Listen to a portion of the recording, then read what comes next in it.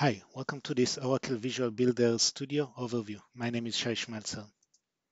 In this quick overview, we'll cover the key functionality provided by Oracle Visual Builder Studio. This includes an issue tracking system, agile dashboard for planning, development sprint execution and tracking, code version management and peer code review, build and test automation for various languages, and continuous deployments of artifacts to your environments. We'll start in the project view of Visual Builder Studio. What we see here is the recent activity in our project, including all the activities that our team member created. The last activity that we see here is an automated test that has failed. Let's click and see what exactly happened. We can go and look at the test results over here. This is a JUnit test and we can see the exact error that happened when we got the wrong hello message over here. We're going to see how to fix this issue. But before we go there, we'll show you another part of our testing capabilities, which includes detecting vulnerabilities in third-party libraries. Our dependency analyzer can review your project for the libraries that are being used and identify any libraries that have known vulnerabilities in them.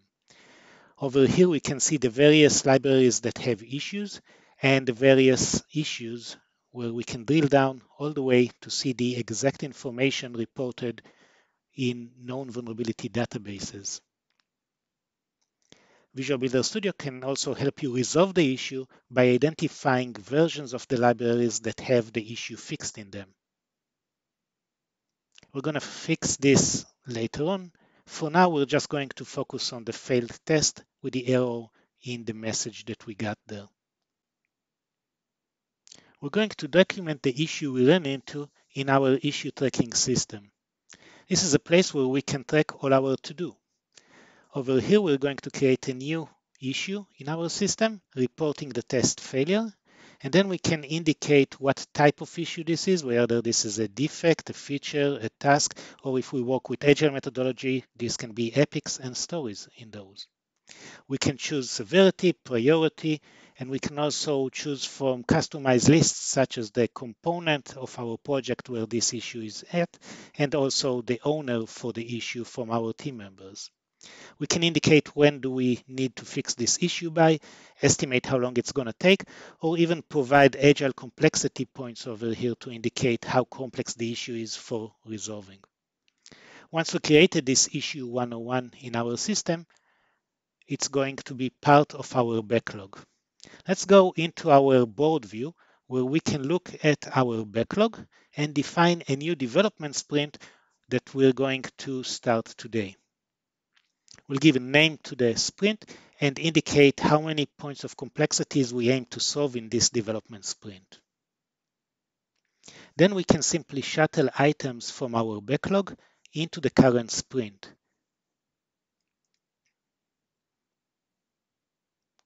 Now that we have the set of issues that we are aiming to resolve, let's start our development sprint. You can, of course, customize the length of the sprint that we're executing over here. By default, it's two weeks. And over here in our Scrum board, we can see exactly who is responsible for what and what is the status of each one of the tasks that are in our to-do list. There are a bunch of other reports that you can get about the project progress. Now let's switch over to see the view of the developer. The developer works in the same project as the project manager and can see all the things that happened in the same activity stream. He can see an issue that has been assigned to him going into the issue system and looking at assigned to me, for example. He can also get emails about issues that are assigned to him. He can then go into the issue, read all the information, update the issue, and provides additional comments, attachment, or anything else that has to do with actually resolving the issue. Now let's go to our source. Our source is hosted in a private Git repository over here. And in this Git repository, we can create new branches for our code. We'll create branch 101 to fix the issue that was reported as issue 101.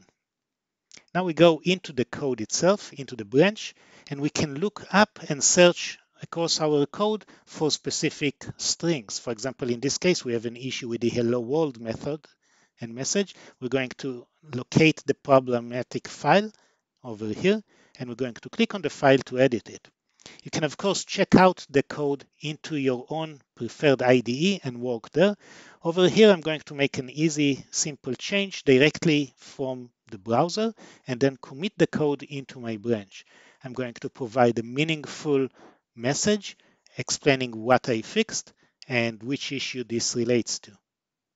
This would allow me later on to click and associate the issue with a specific commit. We committed the code into our branch, and now we want to merge the code into our master branch. To do this, we're going to create a new merge request. Merge request allows me to request other people to review the code before we merge it into our main line of code. So in this case, we're targeting merging into master from branch 101. The issue and the commit is automatically identified.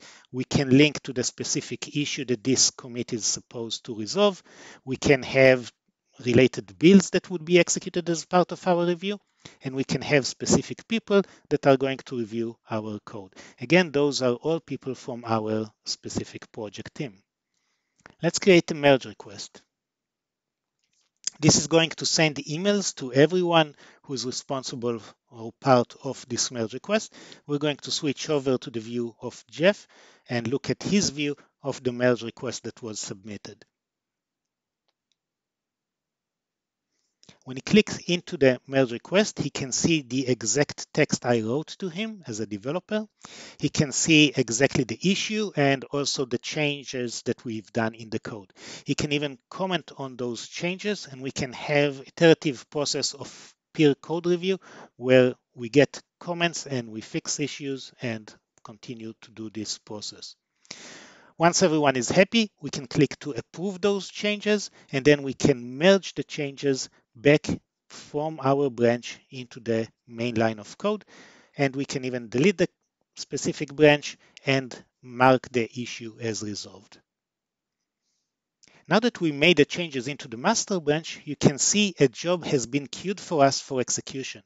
This is the test job. This is the job that actually runs tests on our code. Let's look at the configuration of this job. It's connected to our Git repository to the master branch and is automatically invoked each time this code is changed in our master branch. Then it's going to execute our dependency vulnerability analyzer, checking our code to see if there are libraries with issue. We could have chosen to fail the build and report an issue in our issue tracking if we find issues.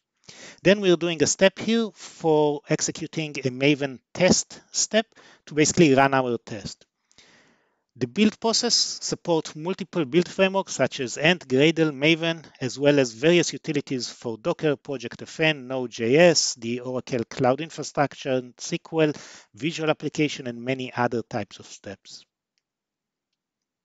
We can see our build is executing right now. And our build is actually part of a complete pipeline of steps. Once we run the test, we're going to split it into two steps. One would deploy our Docker image to the Oracle Docker registry, and the other one would deploy the image to Docker Hub. Then we're going to merge back and create a jar file and deploy our Docker image into a specific instance. As you can see, we can see the builds executing live. We can click on the pipeline and see the progress of the pipeline as it happens. Jobs that succeed are colored green. We can also see the complete log for our pipeline as it progresses, as well as go into specific build jobs and see the results over there. For example, if we go into the test, we can see that now the test passed successfully. We can now see the two Docker publishing steps happening.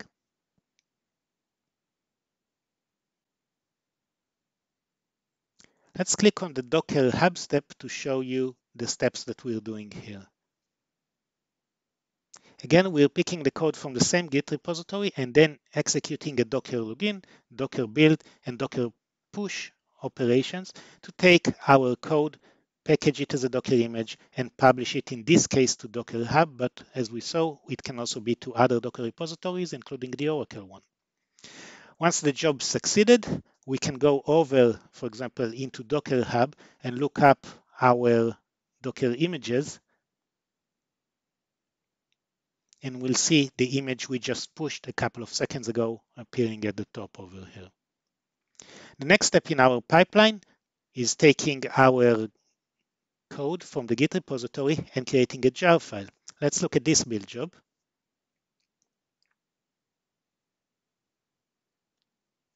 Again, working from the same Git repository and the same branch, we're going to do a package step using the Maven build framework and then take the jar artifact and store it inside our Maven repository. This would allow other people to use that jar file and deploy it to multiple locations. Maven and NPM are two types of repositories that are part of Visual Builder Studio. All right, this job just finished now, which means that the next step would be the deployment. We can actually go and see our deployed application and see if the message now is hello there versus hello that was there before.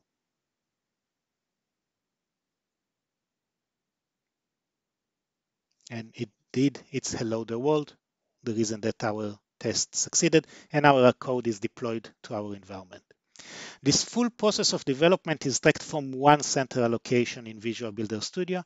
From our recent activities, we can see the full development flow from identifying an issue using an automated test, reporting the issue in our issue tracking system, the issue being picked up by one of our developers, branching the code, creating code fixes, going through code review process, getting the code approved, merging it into the main line of code, which then fires up a set of build steps that take the code, test it, publish it, deploy it, and create jar files in our Maven repository, resulting in the issue being resolved, which is trackable through our Agile dashboard. This is the full complete integrated development experience of Visual Builder Studio.